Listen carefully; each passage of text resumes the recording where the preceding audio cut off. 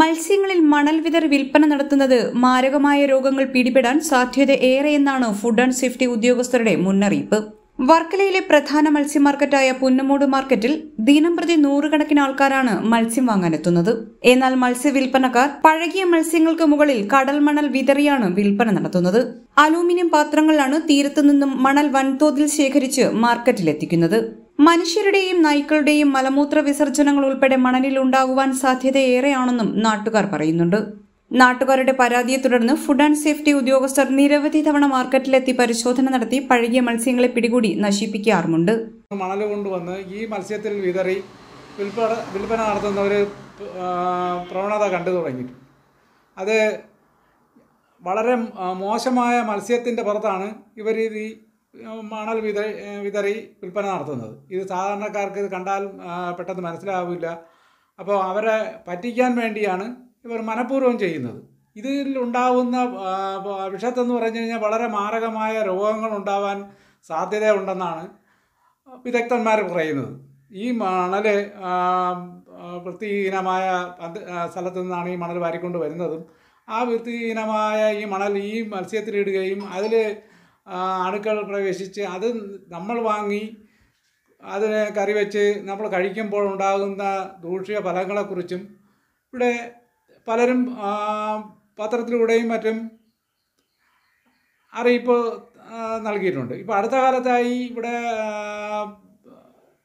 Food and safety ഉദ്യോഗസ്ഥർ വന്ന് മത്സ്യം പിടിക്കുകയും അത് നശിപ്പിക്കുകയും ചെയ്തു. പക്ഷേ എന്നിട്ടും ഇവർക്കെതിരെ ഒരു നടപടി ഉണ്ടായി കാണുന്നില്ല. ആ നടപടി ഉണ്ടാവാത്തത് ഇവരുടെ ഈ ഇരുന്ന് കച്ചവടം ചെയ്യുന്നവർക്ക് കറക്റ്റ് അവരുടെ ഐഡന്റിറ്റി അവരുടെ തിരിച്ചറിയൽ രേഖ അവരുടെ കൈവശം കാണില്ല അങ്ങനെ ആകുമ്പോൾ അവർക്കെതിരെ നടപടിയെടുക്കാൻ പറ്റാത്ത ഒരവസ്ഥ. അപ്പോൾ അതിന് മുനിസിപ്പാലിറ്റി ചെയ്യേണ്ടത് കർശനമായി ഇവിടെ മത്സ്യം കച്ചവടം ചെയ്യുന്നവർ ഇവിടെ ഈ ആഹാര മത്സ്യം. അപ്പോൾ ഈ മത്സ്യം കച്ചവടം ചെയ്യുന്നവർക്ക് തിരിച്ചറിയൽ രേഖ നിർബന്ധമായി ഈ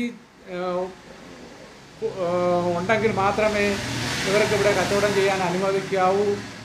അതിനുപരിയായിട്ട് ഇവിടെ ഈ മാലിന്യം നിറഞ്ഞ മത്സ്യം വിൽക്കുന്ന ഇവരെ കർശന നടപടി ഇവർക്കെതിരെ ഉണ്ടാവണം എന്നാണ് എനിക്ക് പറയാനുള്ളത്.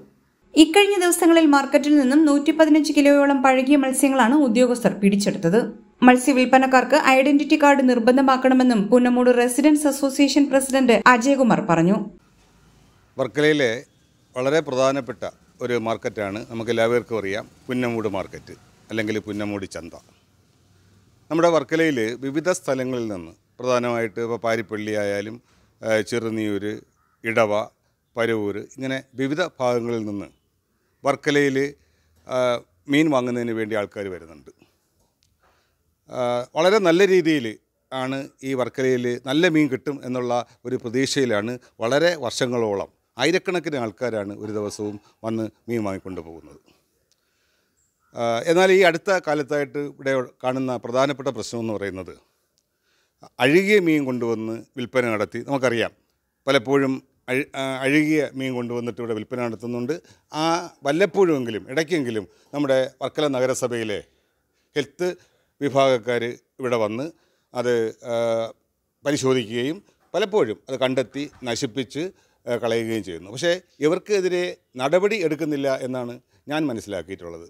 അതിന്റെ പ്രധാന കാരണമെന്ന് പറഞ്ഞാൽ ഇത് ഒരാളിനെ നമുക്ക് കണ്ടെത്താൻ കഴിയുന്നില്ല. അവർക്ക് ഹെൽത്ത് കാർഡില്ല ഹെൽത്ത് കാർഡ് ഉണ്ടെങ്കിൽ ആളിന്റെ പേര് പ്രത്യേകിച്ച് അറിയുകയും അപ്പോൾ അതിന്റെ പേരിൽ ഒരു കുറച്ച് നടപടി എടുത്തു കഴിഞ്ഞാൽ ഇതിനൊരു പരിഹാരം ഉണ്ടാവും.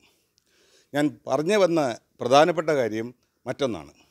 ഇപ്പോൾ കണ്ടുവരുന്നൊരു പ്രവണതയെന്ന് പറഞ്ഞാൽ ഈ മീനിന്റെ പുറത്ത് നമ്മുടെ കടൽ മണൽ വാരി വിതറിയിട്ട് അവരുദ്ദേശിക്കുന്നത് എന്താണെന്ന് വെച്ചാൽ അത് വിതറി കഴിഞ്ഞാൽ പുതിയ മീനാണ് ഫ്രഷ് മീനാണെന്ന് ജനങ്ങളെ തെറ്റിദ്ധരിപ്പിക്കാൻ വേണ്ടി ഈ കച്ചവടക്കാർ ചെയ്യുന്ന ഒരു പുതിയ പ്രവണതയാണിത്. അതിന്റെ ദോഷം എന്താണെന്ന് വെച്ചാൽ ഈ മണലെന്ന് പറയുന്നത് വളരെ വൃത്തിഹീനമാണ്. മാത്രമല്ല നായ്ക്കളായാലും മനുഷ്യരായാലും ഒക്കെ മലവിസർജനം നടത്തുന്ന വൃത്തികെട്ട ഈ മണലാണ് ഇവർ ശേഖരിച്ചുകൊണ്ട് വരുന്നത്. ഇവർ ശേഖരിച്ചുകൊണ്ട് വരുന്ന ഉദ്ദേശിക്കുന്നതെന്ന് വെച്ചാൽ ജനങ്ങളെ പറ്റിക്കാൻ വേണ്ടിയിട്ട്. നല്ല മണലാണ് ഇപ്പം നല്ല മീനാണ് ഇപ്പം കടലിൽ നിന്ന് പിടിച്ചതേ ഉള്ളൂ എന്ന് ബോധ്യപ്പെടുത്താൻ വേണ്ടിയിട്ടാണ് ഇത് ചെയ്യുന്നത്. അതിന്റെ ഭവിഷ്യത്ത് എന്താണെന്ന് വെച്ചാൽ ഇതിൽ വളരെ ദോഷകരമായ പല ആരോഗ്യ പ്രശ്നങ്ങളും ഉണ്ടാകുമെന്ന് നമ്മുടെ ഫുഡ് ആൻഡ് സേഫ്റ്റി അവരുടെ കണ്ടെത്തലിലൂടെയും അതുപോലെ തന്നെ ആരോഗ്യ വകുപ്പിന്റെ മറ്റ് ഉദ്യോഗസ്ഥരുടെ കണ്ടെത്തലിലൂടെയും നമുക്ക് മനസ്സിലാക്കാൻ കഴിഞ്ഞിട്ടുണ്ട്. ഇതിന് തക്കതായ ഒരു പരിഹാരം നമ്മുടെ മുനിസിപ്പാലിറ്റിയിൽ നിന്ന് അല്ലെങ്കിൽ അതുമായി ബന്ധപ്പെട്ട ആരോഗ്യ വകുപ്പിൽ നിന്ന് ഉണ്ടായില്ല എങ്കിൽ വർക്കലയിൽ വളരെ മോശപ്പെട്ട രീതിയിലുള്ള വളരെ മാരകമായ രോഗങ്ങൾ ജനങ്ങളുടെ ഇടയിൽ പടർന്നു പിടിക്കാൻ സാധ്യതകളുണ്ട്. തീർച്ചയായിട്ടും ഇതിനു വേണ്ടി നമ്മുടെ അധികാരികൾ പ്രവർത്തിക്കണം. പഴകിയ മത്സ്യം വിൽപ്പന നടത്തുന്നവരെയും മത്സ്യത്തിനു മുകളിൽ മണൽ വിതറി വിൽപ്പന നടത്തുന്നവർക്കുമെതിരെ കർശനമായ നടപടികൾ സ്വീകരിക്കണമെന്നും പുന്നമോട് മുൻ കൗൺസിലർ പ്രിയ ഗോപൻ പറയുന്നു. മാർക്കറ്റിൽ വളരെ അപകടകരമായ ഒരു സ്ഥിതിയിലേക്കാണ് കാര്യങ്ങൾ നീങ്ങുന്നത്. കാരണം മണ്ണിട്ട് വിൽക്കുന്ന മത്സ്യങ്ങൾ അതൊരു കാരണം. അതിന്റെ ദോഷവശങ്ങൾ എന്തൊക്കെയാണെന്നുള്ള ഫുഡ് ആൻഡ് സേഫ്റ്റി ഓഫീസർ കൃത്യമായിട്ട് പറഞ്ഞിട്ടുണ്ട്. വളരെ പിന്നെ ആരോഗ്യത്തിന് ഹാനികരമാകുന്ന പല അസുഖങ്ങളും ഈ മണൽ മണൽ ഉൾ- ഉൾപ്പെടെയുള്ള മീൻ വിൽപ്പനയിലൂടെ പൊതുജനങ്ങൾക്ക് സംഭവിക്കുമെന്നുള്ളതാണ് അദ്ദേഹം പറഞ്ഞത്. അതിനോടൊപ്പം തന്നെ ആ മണൽ അവിടെ വീണ് ചെളിയായി. ഒരു എന്താ കരിയായിൽ പോലെ ആയിട്ട് അതിനകത്ത് ചവിട്ടിയാണ് ഈ ഒരു നൂറുകണക്കിന് ആൾക്കാർ ഒരു ദിവസം മാർക്കറ്റിൽ വന്നു പോകുന്നത്. അപ്പോൾ ഈ ഒരു വൃത്തിഹീനമായ അവസ്ഥയിലൂടെയാണ് അവർ ചവിട്ടി പോകുന്നത്. ഇപ്പോൾ നമുക്കറിയാം ഇപ്പോഴത്തെ ഒരു കാലാവസ്ഥ ഇങ്ങനെ നിൽക്കുമ്പോൾ പകർച്ചവ്യാധികൾ പടർന്ന് പിടിച്ചുകൊണ്ടിരിക്കുന്ന ഈ ഒരു അവസ്ഥയിൽ എന്തെങ്കിലും അടിയന്തരമായിട്ട് നഗരസഭ ഹെൽത്ത് വിഭാഗം ചെയ്തില്ല എന്നുണ്ടെങ്കിൽ നമ്മുടെ നാട്ടിലേക്ക് ഒരു വലിയൊരു പകർച്ചവ്യാധിയുടെ അവസ്ഥയിലേക്ക് എത്തുമെന്നാണ് എനിക്ക് പറയാനുള്ളത്. അതുപോലെ തന്നെ മാർക്കറ്റിന്റെ ശോചനീയമായ അവസ്ഥ എല്ലാവർക്കും അറിയാവുന്നതാണ്. രണ്ടായിരത്തി പതിനാറ് മുതൽ ഞാൻ രണ്ടായിരത്തി പതിനഞ്ചിൽ ലാസ്റ്റ് കൗൺസിലായിട്ട് കയറിയ ആദ്യത്തെ ബഡ്ജറ്റ് രണ്ടായിരത്തി പതിനാറ് ബഡ്ജറ്റ് അവതരിപ്പിച്ചപ്പോൾ ഒരു കോടി രൂപയാണ് അതിന്റെ നവീകരണത്തിന് അന്ന് ബഡ്ജറ്റിൽ നീക്കി വെച്ചത്. വർഷങ്ങൾ ഇത്രയും കഴിഞ്ഞിട്ടും അതിനകത്ത് ഒരു രൂപ പോലും ചിലവാക്കിയതായിട്ട് കാണുന്നില്ല. അതിനോട് അത് കഴിഞ്ഞതിന് ശേഷം പറഞ്ഞു എം എൽ എ അത് ഏറ്റെടുത്ത് കിഫ്ബി ഫണ്ടിൽ അത് നവീകരിക്കുമെന്ന് പറഞ്ഞു. പക്ഷേ ഇതുവരെ ഒരു നടപടി ഉണ്ടായിട്ട് കാണുന്നില്ല. ഇപ്പോൾ ലാസ്റ്റ് നവീകരണത്തിന്റെ ഒരു പാതയിലേക്ക് നഗരസഭ പോകുന്നുണ്ട്. അപ്പോൾ അത് പിന്നെ എന്നാണ് എനിക്ക് മനസ്സിലാക്കാൻ കഴിഞ്ഞത്. പക്ഷേ അതിന്റെ ഒരു നടപടിക്രമങ്ങളും കൃത്യമായിട്ട് ഇതുവരെ തുടങ്ങിയതായിട്ട് അറിവില്ല. പിന്നെ അതിന്റെ ഷീറ്റ് കംപ്ലീറ്റ് ദ്രവിച്ച് പൊടിഞ്ഞ് എപ്പോഴും അത് ഒരു കാറ്റ് ഒരു ചെറിയൊരു കാറ്റടിച്ചാൽ പോലും അത് വീണ് ആളിന് അപകടം ഉണ്ടാകുന്നൊരവസ്ഥ ഉണ്ടാകും. അതിനുശേഷം നഗരസഭ ഉണർന്നിട്ടോ ആരോഗ്യ വിഭാഗം പരിശോധനയ്ക്ക് വന്നിട്ടോ കാര്യമില്ല. ഒരു ജീവ ആൾക്കാരുടെ ജീവൻ അപകടപ്പെട്ടതിന് ശേഷം സാധാരണ കാണുന്നത് നമ്മുടെ നാട്ടിൽ അങ്ങനെയാണ്. ഒരു ജീവൻ നഷ്ടപ്പെട്ടതിന് ശേഷം നടപടിയെടുക്കുക എന്നുള്ളതാണ്. പക്ഷേ അത് തുരുമ്പെടുത്ത് വീണ് അതിലും കൂടി അതിലും ഈ ചെളിയിലും ചവിട്ടിയാണ് മൊത്തം ജനങ്ങളും വന്നു പോകുന്നത് ആ മാർക്കറ്റിനകത്ത്. അവിടെ ഇരിക്കുന്ന ജീവ മത്സ്യ കച്ചവടക്കാർക്ക് അവർക്കൊരു ഐഡന്റി കാർഡ് നിർബന്ധമാക്കണം. ഹെൽത്ത് കാർഡും ഐഡന്റി കാർഡും അവർക്ക് നിർബന്ധമാക്കണം. കാരണം ഈ അടുത്ത ദിവസങ്ങളിലായിട്ട് നൂറ്റി അൻപത് കിലോയോളം വിഷം ചേർന്ന ആ, മത്സ്യമാണ് അല്ലെങ്കിൽ ഭക്ഷ്യയോഗ്യമല്ലാത്ത മത്സ്യമാണ് അവിടെ ഫുഡ് ആൻഡ് സേഫ്റ്റിയും നഗരസഭയും ചേർന്ന് പിടിച്ചത്. പക്ഷേ ഞാനത് അന്വേഷിച്ചപ്പോൾ അവർക്കൊരു ഫൈൻ അയ- അയക്കുമ്പോൾ കൃത്യമായ അഡ്രസ്സല്ല അവർ പറയുന്നത്. അപ്പോൾ അതുകൊണ്ട് തന്നെ അവർക്ക് നിർബന്ധമായിട്ടും ഫോട്ടോ പതിച്ച ഐഡന്റി കാർഡ് ഹെൽത്ത് കാർഡ് എന്നിവ നിർബന്ധമാക്കണം എന്നുള്ളതാണ് എന്റെ ഒരു അഭ്യർത്ഥന. H P news twenty four into seven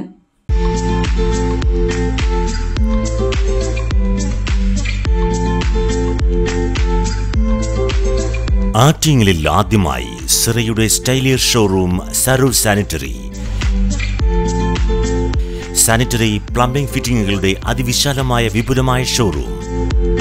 V guard Kirloskar Bindu pumps തുടങ്ങി പ്രമുഖ ബ്രാൻഡുകളുടെ പമ്പുകൾക്കായി പ്രത്യേക ശ്രേണി. ഒപ്പം ആർ ആർ വാട്ടർ ഹീറ്ററുകൾ നിങ്ങൾക്ക് യഥേഷ്ടം തിരഞ്ഞെടുക്കാം.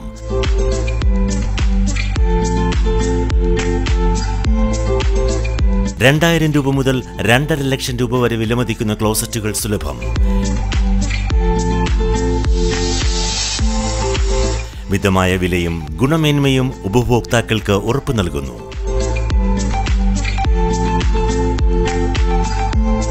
സെറയുടെ സരോ സ്റ്റൈലിർ ഷോറൂം സരോ സാനിറ്ററി നഗരസഭയ്ക്ക് സമീപം Attingal. Mobile nine four four seven zero two zero five double one. Email Saro sanitary at Gmail dot com Saro sanitary Attingal